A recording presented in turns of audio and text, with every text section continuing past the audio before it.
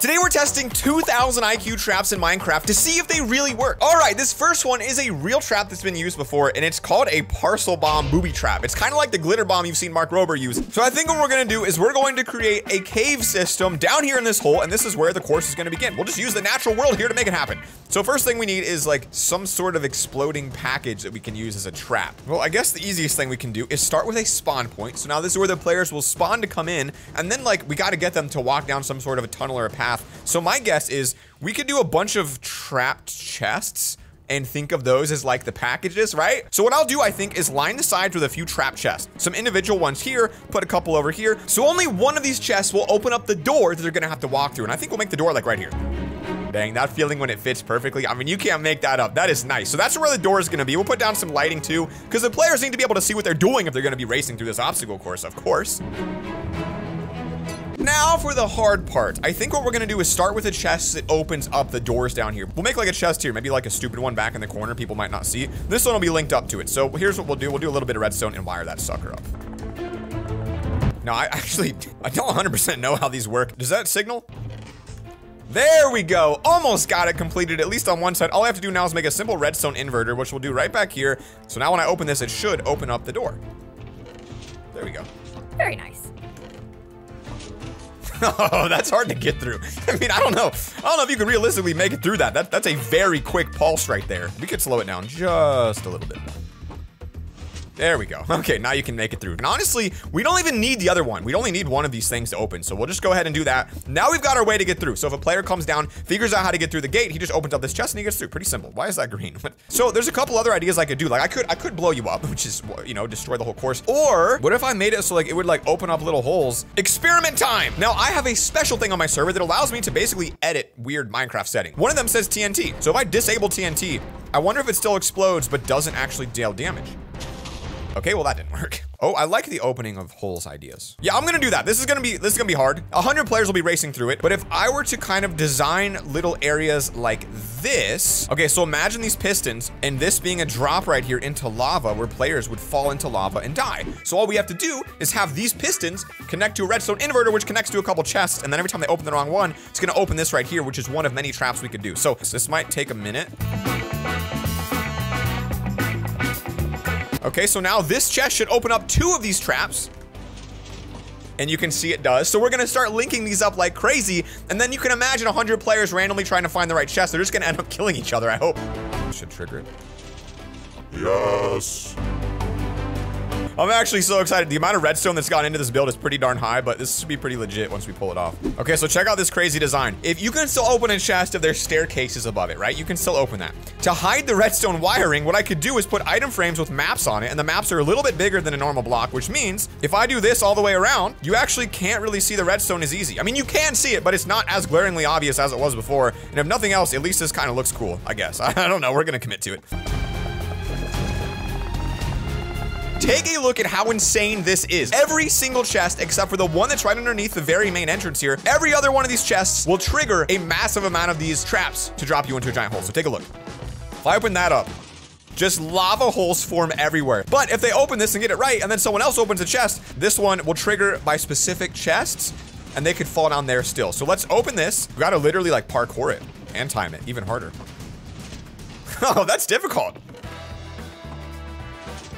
Okay, we made it through. So it is possible. That's also a good sign. So you can make it through. This next one is one of the scariest traps ever. I'm, I'm, not even kidding you. If you don't like snakes, you're gonna hate this one. This is called a snake tree. So they would nail, nail an angry snake to a tree and a door, and they would literally just dangle there. And when you came near them, they go. okay, I've already got the idea. I've already got the idea. End rods End rods and eyes of ender. Those together will look a little bit like snakes, I think. Like, for example, you walk in here and you see like something like this two eyeballs and like some, you know, some snake fangs coming down like that actually kind of looks like a snake a little bit. What we could do here is have a little bit of fun with it. Put a couple snake eyeballs down and these will signify locations where we're going to be making the trap. So it'll go all the way through this little hallway right here. Another little eyeball here, maybe a double. Give each of them their fangs, all right? And I'm still not sure how it's gonna kill you, but that's a future problem, right? I mean, it definitely looks cool. Like, I mean, well, I don't know if it looks cool. I think it looks cool. And maybe we could do something like this. I like that. It's almost like they're they're like a like a like uh, mm, okay. Let me let me build this. Hold on. The idea is I'm gonna use a command block to make it so every single end rod gives you a little bit of poison damage. So if you touch any of these, you'll get poisoned by the snake's fangs that are dangling from all around you. Once you come through, you'll hit this command block, and that's gonna give you nausea for 60 seconds. So no one's gonna realize that once they make it through. So they're gonna have to make it through like this, which will be a little bit more challenging, but still, I think if you um, know what you're doing, it's not that difficult to get through. It'll make it a little harder. Guys, I, I don't understand why there's so many fangs here. I mean, we got out of control real quick. I just kept adding them. I'm still adding them. I'm just, there's no stopping in sight here. Oh my gosh, guys, this is the craziest thing ever. I just went to Google how to use a Minecraft command, and I Googled it and then typed in Reddit. And you won't believe this, but the post that I literally found said I need a stonecutter command, and I saw it in a Lover Fella video. This is so weird. With this command being always active, what this should mean now is, and I'm gonna cover it up so players can't see it. What this should mean is now if you're in survival mode and if you touch any of these, you're gonna get poisoned. So let's walk through and see. There we go. So you can see we got a little bit of poison there, but it, it didn't really do a lot to us. So let's make the difficulty on maybe hard. There it is. Yeah, okay, that's good. Now, snake bite's gonna do a little more than that, so maybe we'll do five, or six. We'll do six. If I did this right, you're gonna get some pretty hefty poison damage if you touch any of these. Pretty fast, too. I mean, you gotta be real careful about it. But the thing is, there's no way to really heal in an event like this, so if you take damage here, it's gonna really hurt you later on. I love this. This is a world edit command, which allows me to mask over all the stone with a more creepy vibe. I feel like it gives it more of a snake feel. So now they're literally inside the snake's belly. And then to give it the ultimate feeling of a snake, we're going to do this, but we're going to take it and give it a little bit of a red, kind of a blood-like vibe through the center, which is kind of like the stomach of the snake. Totally unnecessary, but I just activated that with redstone. That's kind of funny. Maybe it's like a tongue. That's just basically a tongue. So a bamboo whip in which a tripwire was set to release a bent bamboo pole tip with wire spikes. Basically, imagine this, a giant ball of spikes in the sky and smacks you in the face. So right back here, um, we're gonna get right out of the snake's belly. Oh, look at that, we approach a cave. Oh, okay, I mean, I guess we're gonna use a cave. Can't complain about that. And the good thing about this is it means you can't go backwards. So once you're in, you're in. So, once you leave the snakes, well, the snake with multiple snakes in its body, boom, you plop down into here where we're going to create this thing that must come from the ceiling. What I do know is there's gonna be a couple tripwires. All right, so after a good portion of thinking, I finally know how I'm gonna do this, and it's not really gonna be the same as the booby trap we saw. It is somehow inspired by it. I got a cool idea. These are going to be actually fake traps. They're literally designed just to distract you. Okay, still not sure if I really made this right, but the idea is that along the sides, we're gonna have skeleton archers behind lava waterfalls. And these lava waterfalls mean when the skeleton sees you, it's gonna snipe you with a fire arrow, which is kind of cool. These tripwires are just here to slow you down. You're gonna try to avoid it, so you're gonna try to jump over this. And while you're trying to make all these parkour hops and avoid all the tripwires, of course, you'll be shot at by these skeleton archers. So I think it's a cool idea. Okay, they can't even shoot out, so we need to make it a little bit more difficult. Also, I don't know if they can shoot up or not, but I'd love to make some kind of design where they can actually shoot up. Now, I think carpet would stop arrows. All right, this looks immensely more difficult than it was before. You're gonna be dodging like crazy. Okay, so not too bad, not too bad. The thing is, is it's possible. I just, I feel like it's still wildly easy to get through this. We're gonna need more. That looks pretty darn difficult. All right, I'm gonna be honest with you. So we've got three incredible traps right now. This isn't it. We're gonna do a lot more to make this thing crazy. Wow, look at this. This is a Reddit post about something called the Valley of Kings. And it's got a staircase. It looks like this, where the steps are different heights. This is so that you accidentally step wrong and fall down to your death while walking down. Okay, here comes a beautiful looking staircase right here. I think we can make it a little bit bigger though with 100 players because that'll probably give us more room to work with. So what I could do is expand it a little bit like this. So now you can see it's a lot bigger. Well, you tumble to your death. So I guess one option is a couple things like this, like random holes while you're running down. I mean, that'll definitely get you. I feel like we'll lose some people here, but we can do more. All right, good amount of holes right here. I mean, there's not too many, but there's enough that maybe someone who's sprinting through might accidentally fall into one of these bad boys. Could add spider web as well because they're going to be racing. So a little bit of spider web might deter them, slow them down, or make them try to avoid it and fall into a hole. So just a couple of these will help. I think we could also take some lava and just kind of place it here and just kind of see where it drains to. A little bit more challenging, I'd think, with the new lava pillars we've added. Now that we've got all that set up, I was like, hey, why don't we put a couple wither roses up top just to make sure they don't waste too much time sitting here thinking about what to do.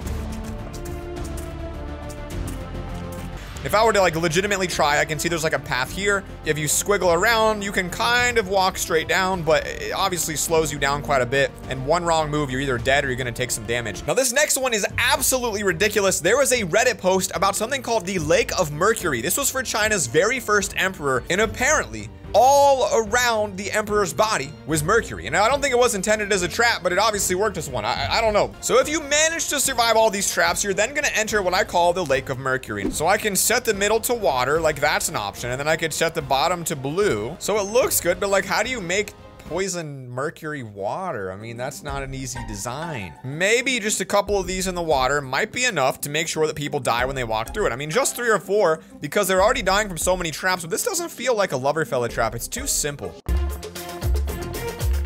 So I feel like that alone is already kind of scary. We already lost a pufferfish, by the way, which sucks because uh, I think our zombie friend killed him. So if you would please leave, sir. You know what? What if we added like a parkour course? They could try to jump through the parkour, and if they survived it, they wouldn't have to worry about the pufferfish, but we'd make it super hard. So here is the really weird parkour course I made. If you can make it up to that door, you can escape. So you got to make all of these jumps. So from here to here to here on this trap door, on this trap door, make it up to here, and then you can run along the side. Obviously, I'm not that great at parkour, and I did it, so it's a little bit too easy, I think.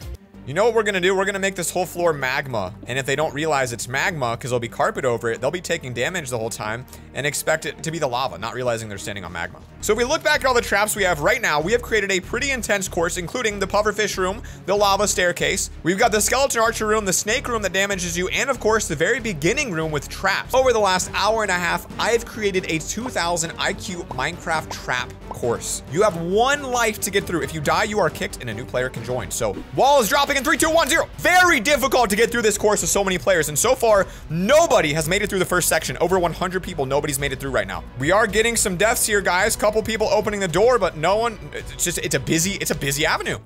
Couple of them found a way through, so we've got a, a, lot of them in the wrong area. They're just randomly exploring caves. They're not, they're gonna need to get back into the zone. Here we go, here we go. This guy, this guy is clearly in the lead by a mile. Oh, oh, oh, oh, oh no, they fell in the wither bush. He might go down here. Two players right now. Oh, goes down to a puffer. That dude just vanished right in front of us. This guy's trying to kill puffers, doesn't real. Oh, and he goes down too. They just vanish and they get kicked immediately. New batch of players coming, guys. You're welcome to go ahead and try to get through this course again. Wow, look at this. We're up to 160 players right now trying to get through. They've all made it into the next zone. You're gonna see a lot of people die here because they don't even, they're not even thinking about it. The poison damage. Crazy kid and soccer mom coming in here looking real nice, guys. They could they could be victorious. Oh, he goes through the deadly stairs. Oh, that poor, oh, another one. I can't believe they're falling through like flies. I didn't think anyone would fall for that. We lost quite a few. We have a herd of people here at the final zone. Oh man, the poison is brutal. They're all looking the wrong way. It's right next to them. And this guy gets it. Mister. Oh, and he dies. Next guy, oh, and he dies too.